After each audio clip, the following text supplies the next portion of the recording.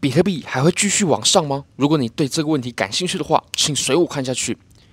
科比托 Cross Bybit 交易大赛目前已经有三百五十八位观众报名，奖池累积到达七千五百 USDT。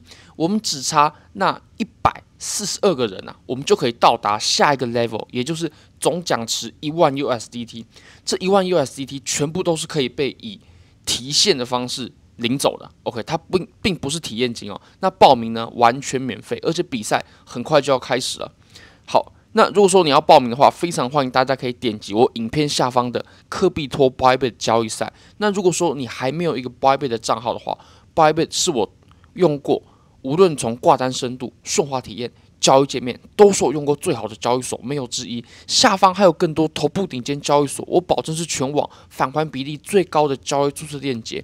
我们现在就来看一下比特币在四小时的盘面。那我们一样先强调出这个通道。这个通道的话呢，你可以发现它接触点非常多，而且它往上往下，它的有效性都是不差的，对吧？那如果说我们又往上的话，很有可能会再重新测试到我们整个向上微微倾斜向上震荡往上走的通道的上缘呢，可能是呃两万六左右这个位置。好，那如果说我们去切小周期一点的话，我们把这个图呢，诶，我们只关注右半边的部分呢。那其实你可以发现，我们已经是第三次来到两万四千左右的压力位了。那你可以发现，我们前两次啊，它都是受到了回绝。那第一次回落的幅度比较大，那第二次呢，诶，回落的幅度小了。这个其实是在此处的压力，它的供应。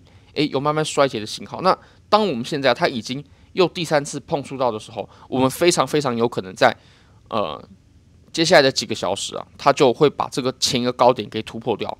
不过我是并不看好它呃往上突破后能走出多远的趋势哦。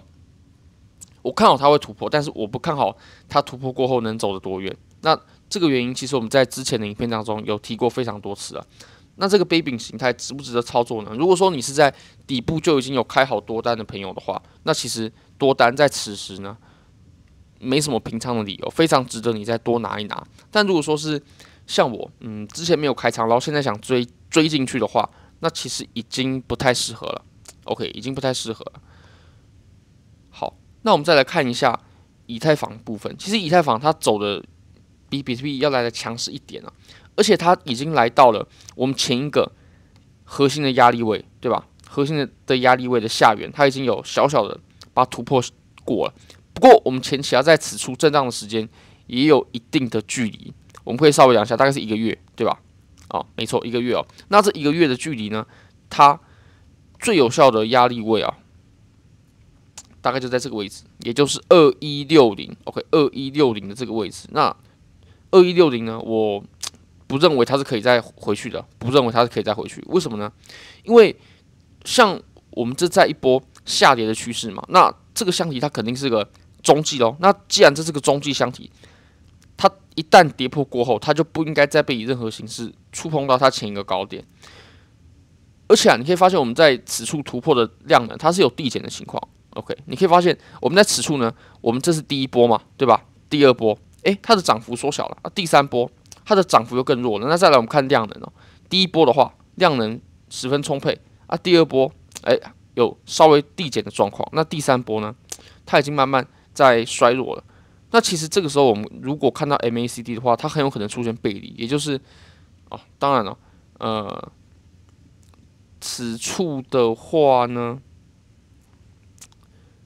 是没有显示出来的。不过它上涨的这个波段呢。是有减弱的。第一个，你可以从它上涨的长度；那第二个呢，量能；第三个，我们用一个更明白、更了当的方式哦，就是你可以发现它在此处它出现了一个比较看空的上升楔形，也就是上涨它慢慢乏力的信号。那这个时候，如果说你持有多单的朋友，它跌破这里，跌破我们形态的下缘的话，那可以考虑来离场。而且我们今天也到达了我们前一个很重要的压力位了，非常感谢各位，拜拜。